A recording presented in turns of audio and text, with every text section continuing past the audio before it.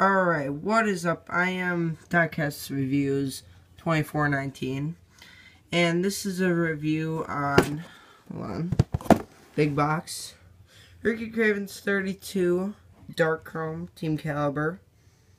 Uh, it's a pretty big box. It's got Team Caliber on the front, Dark Chrome. We open the box while the car's out of it so you can't really see it. Um, so we got the owner series. Uh, it's a, out of 180. It's pretty cool. Uh, this is where the window is. I took it out because, well, I need to put the window on. And you got the box right here. Has It has all the parts labeled. That's uh, new 2002. So if you can see that. Uh, a couple other parts are like that. Anyways, that's besides the point. Let's get to the car. I think this is one of my favorite cars I have in my collection. As it's really nice. Um, so we got the Rick Craven. So we got the 10-2 Ford Taurus front nose. Really love how this car turns out, especially with all the... Uh, almost got that. So you see the engine, nothing under the hood. That kind of disappoints me, but whatever. Got Tide.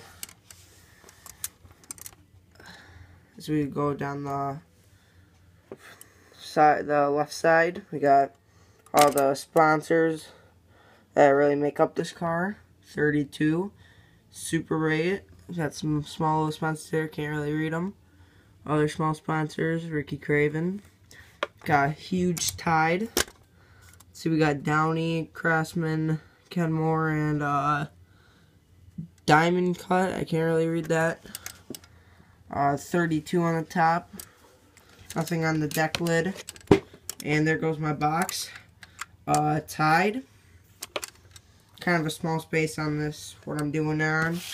So I'll just put my Elton Sawyer car, which I'm going to be doing a review on later. Um, Anyways, same thing on the right side, except it's kind of reversed, whatever. Get the turnable wheels. Really love how this car turns out, and this is removable.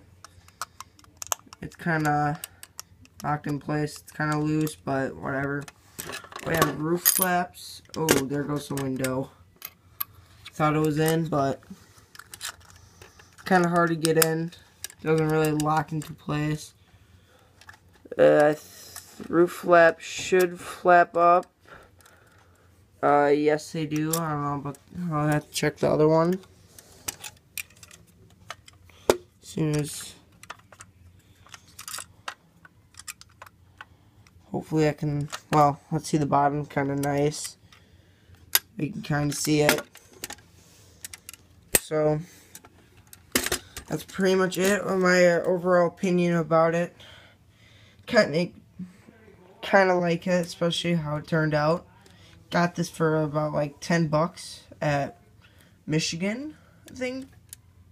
It was, was last year I think I got it. But, eh, yeah, it's a nice car. Really love it. Uh, if you haven't checked out my review on Plastic OTC cars on the Marlin, please go check that out. And soon enough, I'll be doing a review on the 98 Elton Sawyer Lysol racing car. So that's besides the point. Thank you for watching this review. Hope you liked it. Please share and subscribe. And thank you for watching.